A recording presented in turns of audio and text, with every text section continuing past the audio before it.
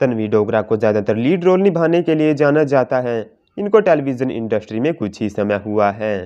तो चलिए जानते हैं तन्वी डोगरा अब तक किन किन टीवी शोज़ में दिखाई दी हैं।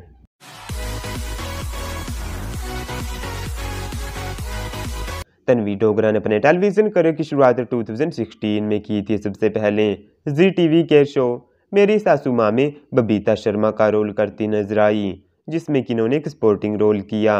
इसके बाद ये स्टार भारत के शो जी जी माँ में फाल्गुनी पुरोहित का रोल करती दिखाई दी। इस शो में इन्होंने लीड रोल किया। इस शो से इनको काफ़ी पहचान मिली। स्टार प्लस के शो एक भ्रम सर्वगुण संपन्न में इन्होंने काव्या सिंघानिया की भूमिका निभाई थी। इसमें भी इन्होंने मुख्य भूमिका निभाई।